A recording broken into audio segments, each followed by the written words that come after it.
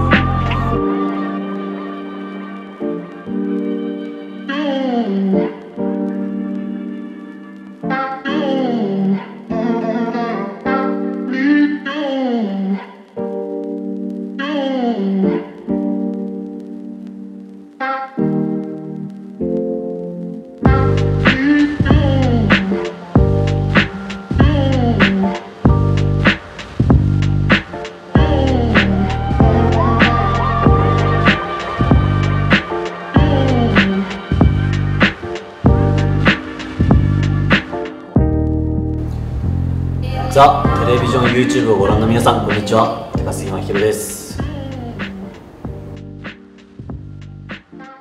はい。そうですね。僕は普通に仕事をしてましたね。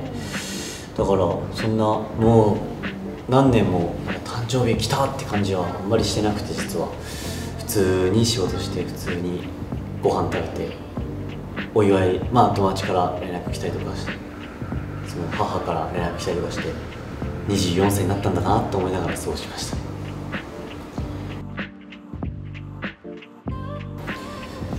そうですね。うんなんか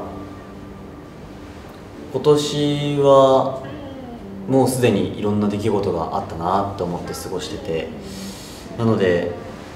なんていうんですかね自分の足りない部分だったりとかっていうのになんか気づく瞬間結構あったりしたのでそれを勉強していけたらいいなと思いながら今年はちょっと真面目に勉強する年にしようかなと思ってます。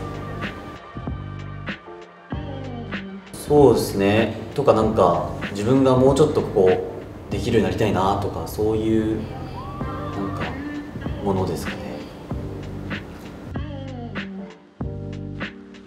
僕は本当に僕趣味が漫画ゲームアニメなんですけどでもなんかそれよりもドラマとか映画とか小説とかを読む時間の方が多かったかもしれないですね。